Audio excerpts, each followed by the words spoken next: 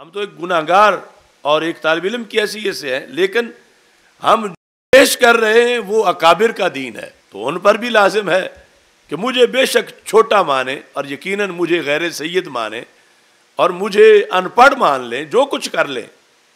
लेकिन जो मैं पेश कर रहा हूँ, उसे तो ध्यान से पढ़ें। जिस चीज़ को मुजद पाक ने जिंदीकियत कहा, इन्होंने उसको सुन्नियत क्यों बनाया हुआ? मैं पेश करता हूँ मुजद साहब ने। इनके बयानिए को ये जो हमारे मुकाबले में धड़ा खड़ा है, इस्तकलालन मानना मौला अली रज़ी अल्लाह तु को, इस्तकलालन, जिसकी ये धड़ाधड़ तकरीरें कर रहे हैं, इस पर उन्होंने कहा, ये हदम शरीयत है, ये हदम दीन है, ये जिंदीकियत है। तो ये पढ़ के जवाब दें, जब कायल हैं कि मुजद साहब मुजद हैं, और मुजद अल्फेसानी हैं, और बरहक हैं, इमाम हैं हमारे तो उनकी अदालत में ये हाजिर क्यों नहीं होते? उनका लिखा हुआ अलान मकतूबा शरीफ में मौजूद है और मैं पेश कर रहा हूँ बार बार इनको सफ़ा वो दिखा रहा हूँ। नेट में कई तकरीरों में पेश कर चुका हूँ कि ये पढ़ के जवाब दो, क्या तुम इसके बागी नहीं हो? इनमें इतनी ताकत नहीं कि अपनी ज़ुबान से महज तर्जमे के बगैर वो लफज पढ़ दे। ये मेरा चैलेंज है। जब वो पिंडी की कॉन्फ्रेंस थी, उससे पहले मैंने दिया था। ऐलान करके कि सुन्नी हो तो ये मुजद साहब का पढ़ के सुनाओ वो कहते हैं कि जो ऐसा करे वो सुन्नी नहीं ज़िंदगी होता है। तो किसी को हौसला नहीं हुआ कि कहता कि वो जलाली जो है वो ऐसा करता रहता है। देखो, मैं पढ़ के सुनाता हूँ। कई वो भी गए हुए थे जो दावेदार है कि हम मकतूबा शरीफ का माना दरस देते हैं। और हम मुजद्दी हैं। जिस तरह कुछ जाली रिजवी आज आ गए हैं, ऐसे कुछ जाली मुजद्दी भी है, जिन्होंने लफ्ज मुजद सिर्फ़ इसलिए रखा हुआ है मुजद ट्रेड सेंटर मुजद्दी होटल, इस नाम के लिए। हम कहते हैं मुजद्दी अकीदा।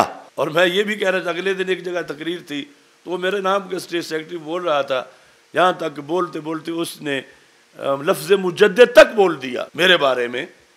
कंजुलमा पासबान मसल के रज़ा मुफ़र इस्लाम शमशीर बेनियाम वाकिफ़ रमूज़ हकीकत मारिफत, मोहसन आल सुन्नत। मैद मिलत ताहिरा, साहिब हजत काहिरा। मुजद असर हाजिरा। डॉक्टर साहब किबला का इंशाल्लाह बयान उसके फौरी बाद।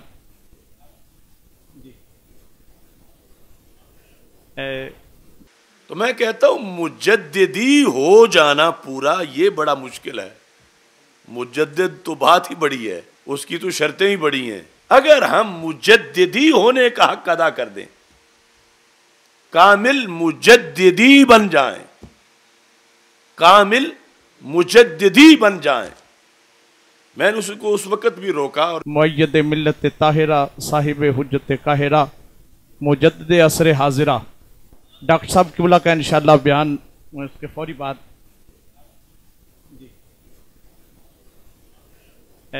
मेरा ये ख्याल था कि मैं तकरीर में, लेकिन मौजू इतना था, लंबा और वक्त थोड़ा था, मैं तकरीर में तो इसकी वजाहत कोई ना कर सका और अब कर रहा हूँ। यानी मैं ये पूरे अपने दिल के इतमान और शर सदर से कह रहा हूँ कि अगर मैं मुजदी कामिल बन जाऊँ तो मेरे लिए ये सादत भी छोटी सादत नहीं है।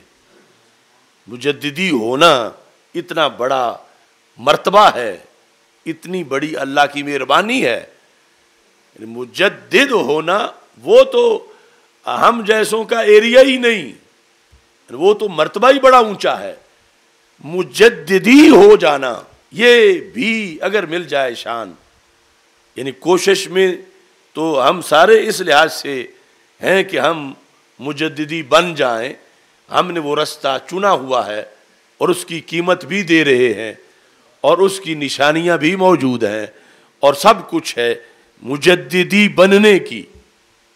लेकिन अभी मंजिल बड़ी दूर है। तो ये सूरत हाल के जहाँ तक हम इस वक्त पहुँचे हैं कि मेरा ऐलान है कि मैंने ये नहीं कहता जो मैं कहता हूँ वो मान जाओ सारे। और आगे से मेरी दावत को रोकने के लिए ये प्रोपोगंडा है ये छोटा हो के बड़ा बनना चाहता है, ये गैर सैयद हो के सैदों को पीछे लगाना चाहता है, ये हो के बड़े बड़े मुफ्तियों को जो आज़म हैं या असगर हैं, उनको पीछे लगाना चाहता है। तो मैं कहता हूँ, जो लिखा है बड़ों ने, उसके पीछे लगो। ये मेरी, मैं तो पेश नहीं कर रहा कि मेरी मानो। मैं कहता हूँ, मेरे मुजद अल्फानी रहमत की मानो। मैं कहता हूँ, हज़रत मुजद दीन मिलत आला हज़रत इमाम अहमद रजा बरेलवी रहमत की मानो। चलो बड़े हवाले तो बड़े रहे, एक मकतूबात शरीफ का और एक मुस्तनद का। लई सहब सिहाबत जवातिम, वला हब अहलबैत अनफुसहम।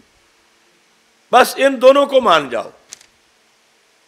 हाँ ये मैं कहता हूँ कि ये जो बड़े बड़े उनमें लीड कर रहे हैं, वो इससे हटे हुए हैं।